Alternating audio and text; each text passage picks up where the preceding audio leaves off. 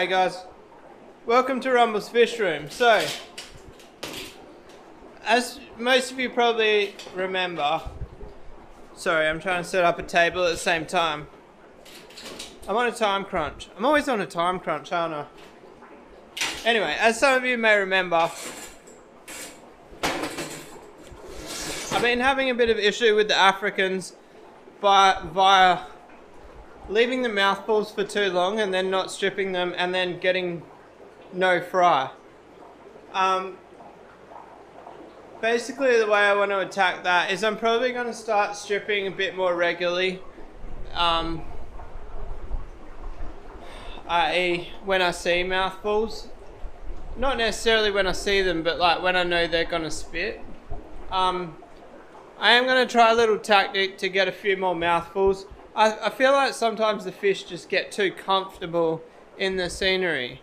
Um, things like changing their food um, and stressing them out of everything can get them breeding. So I'm actually going to stress them out tonight and I, I'm going to show you in this video at towards the end of the video what my plan is. But anyway, let's strip a couple of fish.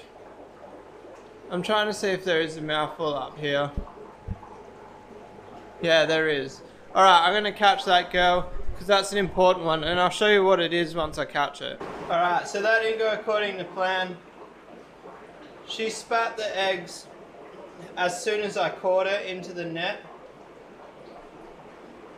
Looks like I saved about 20. I did lose some of the eggs in the tank but I'm just going to have to show you what fish it is because I can't actually, I didn't catch it. It's actually a star sapphire female. Um, that's really cool because I've been having trouble trying to breed the star sapphires. I think, so what happened is I had like seven males, three females. And I've been selling off males and now they've started breeding. So less males means less stress on the girls.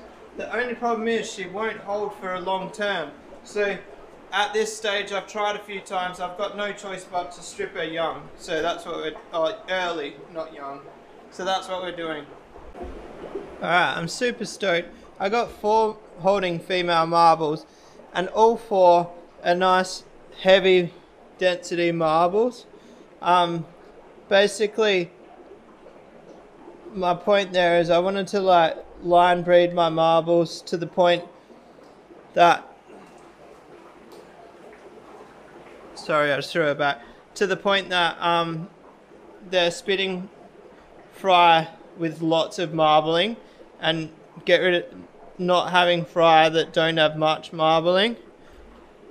So hopefully I've achieved that.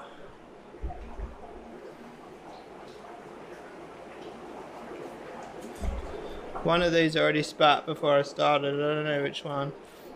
Oops. I think it's going to be the last one.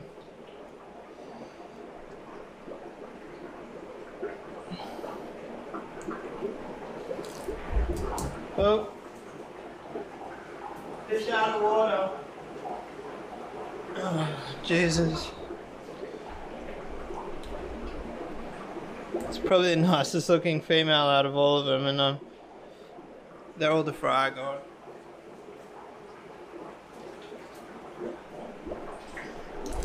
This is the least marbled out of the four. It's not too bad, but definitely not as special as the other ones. Alright, so in, amongst, in amongst that bunch, there is some free swimmers. So they can go in here.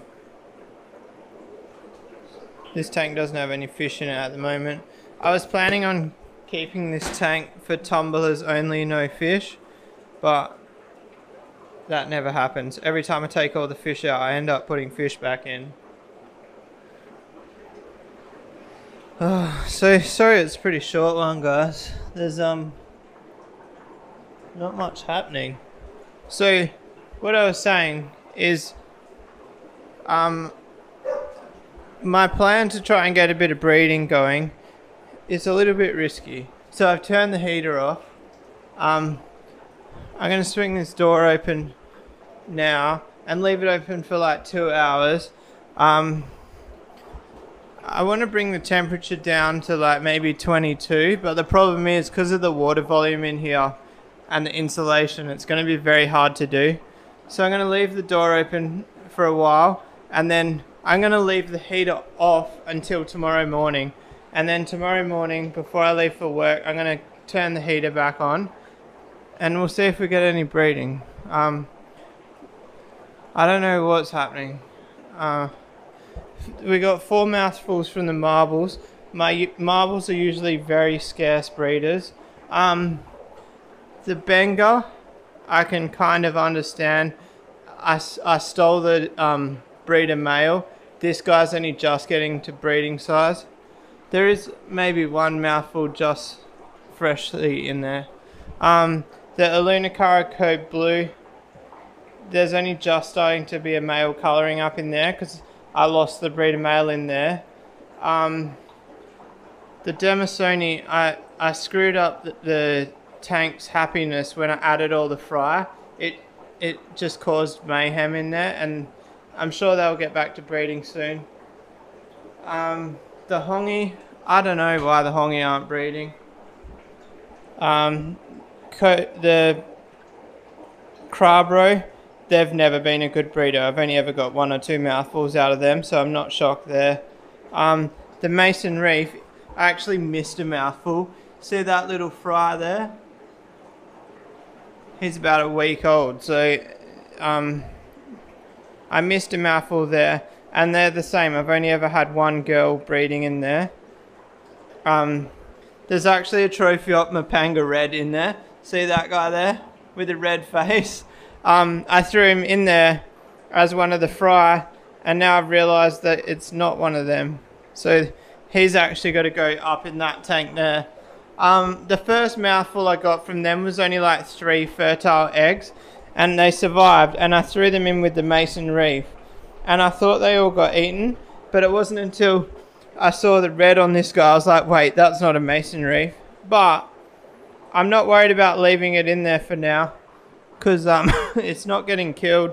It's growing out, and I really want to expand that colony. So it'd be good to get one that get him to a decent size before I move him to that tank. But wait, there's more guys. I was just having a gander, and I spotted a Aulonocara Code Blue holding. So then I went to catch her and I spotted another one holding. And they're, they've got heads and tails. So they're fertile, which means the male has stepped up to the plate, which is very exciting. Um, this colony I thought was still going to be a write-off for a little while yet.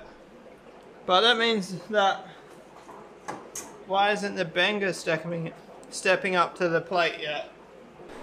Alright guys, after all that we ended up with five tumblers and a tank of fry. So it really wasn't a bad haul at all really. I shouldn't be complaining. I just wish it was more variety than it was. It was only three types of fish. But sometimes shit happens. Um, I, I don't know how I'm going to arrange the stripping in videos if I'm going to be doing it more frequently. Um, maybe I'll record the pieces and I'll put them aside and then do a stripping video once every fortnight or something of all the different videos compiled together. I'm not really sure yet, but I'm hoping I can just go back to my old ways. I used to just strip once a fortnight and it worked well. So if everything can please just start breeding in um, the way they used to, then it would be fine.